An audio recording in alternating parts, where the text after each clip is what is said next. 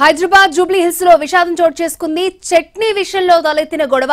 భార్య ఆత్మహత్యకు దారితీసింది. ఆదివారం రాత్రి ఇంట్లో భోజనం చేసే టైంలో చట్నీ ఎక్కువేశావంటూ రమణ భార్యతో గొడవపడ్డాడు. సోమవారం ఉదయం అతడు విధులకు వెళ్ళగా భార్య చందన పలుమార్లు వీడియో కాల్స్ చేసింది. అతడు స్పందించకపోవడంతో ఫోన్ చేసి కావాలనే తనతో గొడవ పడుతున్నావంటూ పెద్దగా కేకలేసింది. తాను చనిపోతున్నానని చెప్పి ఫోన్ పెట్టేసింది.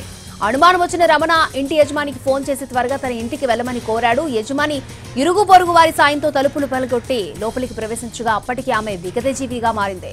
భర్త రమణను పోలీసులు అదుపులోకి తీసుకున్నారు. చందన కుటుంబ సభ్యులు ఫిర్యాదు చేశాక కేసు నమోదు చేస్తామంటున్నారు.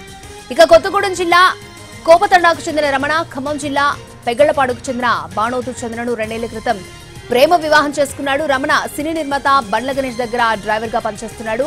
చందన ఓ ఆభరణాల దుకాణంలో పనిచేస్తోంది. అయితే వీరిద్దరూ బంజారాహిల్స్ ఇందిరానగర్లోని అపార్ట్మెంట్లో ఉంటున్నారు.